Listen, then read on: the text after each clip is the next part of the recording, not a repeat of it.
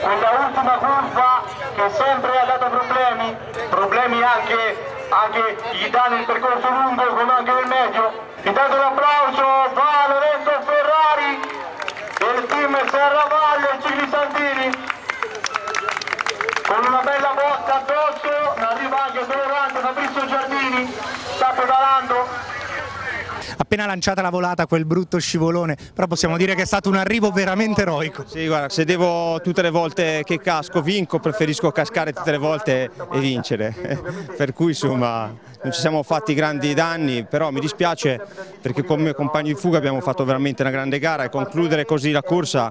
senz'altro è stato un po', insomma, ha rovinato un po' la festa, ecco. comunque complimenti a me, complimenti a lui e sono molto contento per questa vittoria. Intanto un applauso a Lorenzo Ferrari del team Serravalle Cicli Santini